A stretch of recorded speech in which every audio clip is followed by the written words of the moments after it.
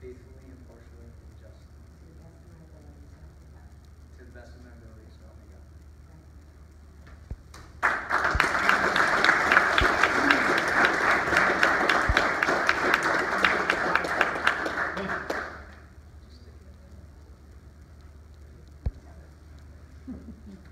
Thank you.